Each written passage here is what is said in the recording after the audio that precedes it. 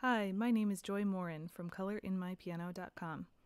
In this video, I'm going to show you how you can use um, a set of image files, they're um, PNG files and vector SVG files, in your projects, whether in Microsoft Word or using canva.com.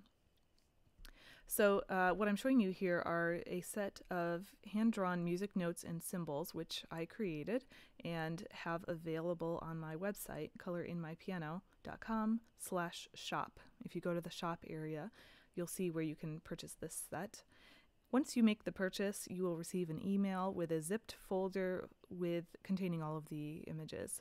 There are 55 designs and two different file formats are provided to you. So here in the uh, PNG folder, you can see the PNG versions of all of the designs. So these are image files that have a transparent background, which is nice if you might be working on a project that has a colored background and you want to drag this in. You won't have any white surrounding the image. You'll just have the transparent background and then the symbol. Uh, these PNG files are all colored black, as you can see.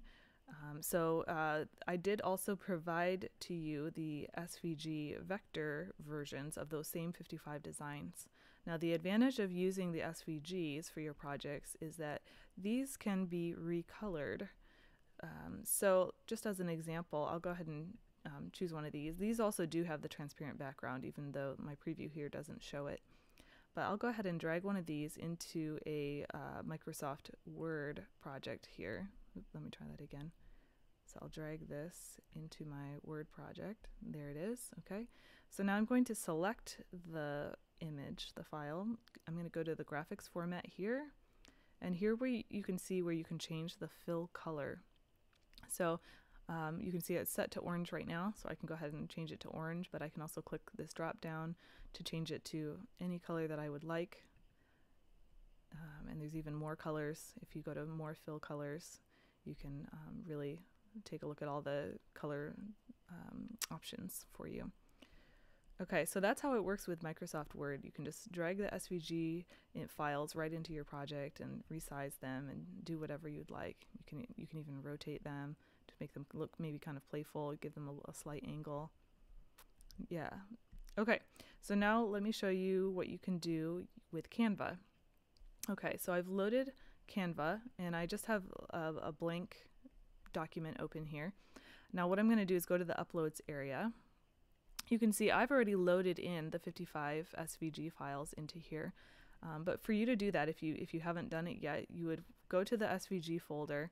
You can see I have 55 files in here. I can hit Command A to select all of them at once, and then I can click and drag if it'll let me. Yeah, and I could just let go and they would all start loading into Canva. I won't do it now because I don't want duplicates. um, but I'll, I'll go ahead and do it with maybe just one of them. So if I just select one of these, you'll just so you can watch and see what it does. So it starts thinking and loading.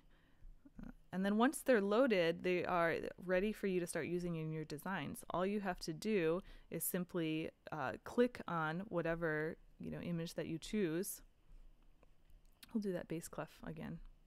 Okay, and then as long as that is selected, you should see this box in the corner for the color.